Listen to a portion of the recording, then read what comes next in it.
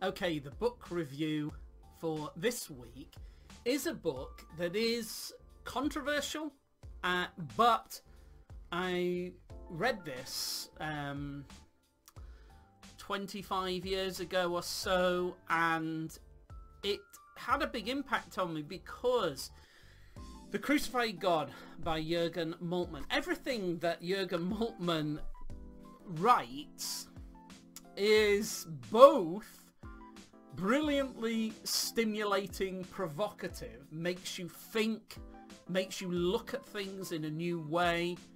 Um, very memorable ways of presenting all kinds of theological truths. And quite often at the same time he says things that you're like whoa what on earth is that it's a real roller coaster that there's some things that i think oh no I can't have that. Like, that, that. Where's that coming from? Or he'll quote someone who seems to me, like, totally unhelpful. And then you turn the page and you get some absolutely brilliant uh, light onto some great biblical truth. So it is a roller coaster ride. And that's why I like him because you you you have to think you have to engage and you're enriched by that and uh, I've met Jürgen Moltmann uh, more than once and seen him lecture. I remember going with Lesslie Newbigin to a lecture where we heard him speak, this must be 20 years ago, uh, at King's College and uh, very impressive and such a godly man.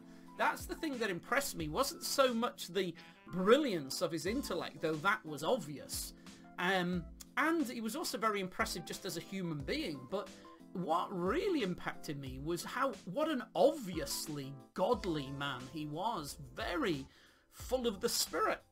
Um, but this book, the reason I, I would recommend it, it's not for everyone, because you might think, oh no, it's too much for me. And what he's doing, and this is one of his very earliest books, what he's noticing is that uh, um, let me just take one way he comes at this. Is in artwork, um, the idea is that the cross gets sort of uh, the passion of the cross is almost um, washed away in this idea that God cannot suffer and therefore it can't really be the divinity that is involved in the cross.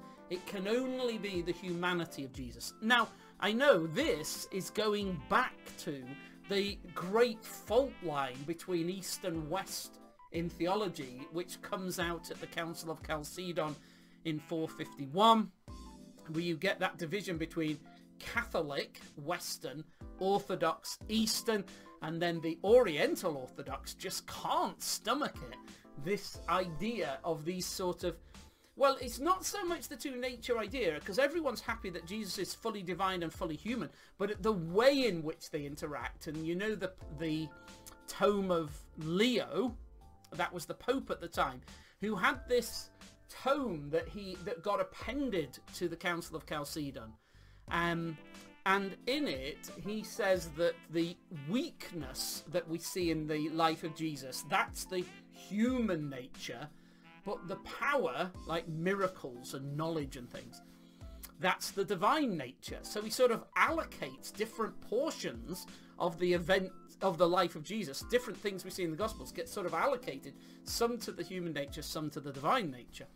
And to the African and Asian, to so many of the African Asian um, Christians, that did sort of sound a bit like Jesus was being divided into two people almost. And one person who suffers and is weak and another person who isn't like that. And although Leo's trying to say, no, no, th there's one person in which these two things exist, it just didn't seem credible to particularly the African Christians and the Arabic Christians.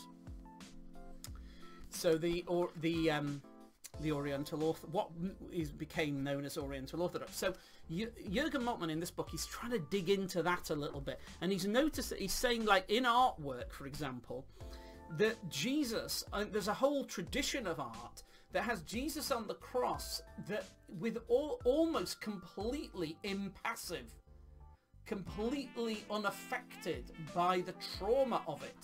And we have to look at that kind of a Jesus and think, well, is that truly human at all? Now, the art is trying to say that the divinity is not suffering, I guess. I guess that's the idea of the artwork.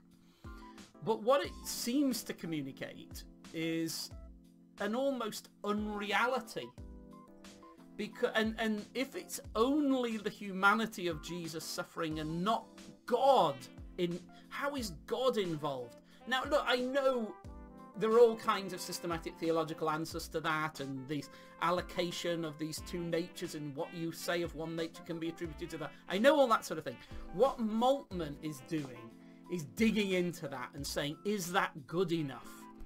And he, he looks at it quite deeply and that phrase, the crucified God, um, really cuts to the heart of what he's trying to say. That Acts 20:38 God purchased church with his own blood.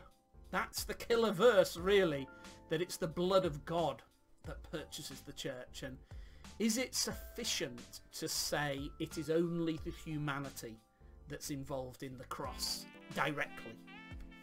Um, and Moltmann has left me co constantly thinking, I'm not sure that solution is good enough if we're going to be true to the Bible. Now, sure, there's all, lots of us, we, we'd be thinking, oh, but what about this philosophical problem of impassibility and all that? Yeah, I know, I've read, you know, I the, reading this cursed me to spend my whole life reading all the books on impassibility and all the books on other things and drove me to engage with all those Oriental Orthodox Christians and the Monophysites and all that.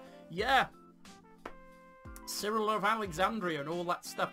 So in a way, I perhaps I shouldn't recommend it because reading it is a bit of a curse if you take it seriously because um, if you take that seriously and, and really go with him, you, there'll be lots of things you'll think, oh no, that, I don't buy that at all. Well, sure, but it left a legacy for me, and I'm grateful for it, even if it's meant a somewhat difficult journey.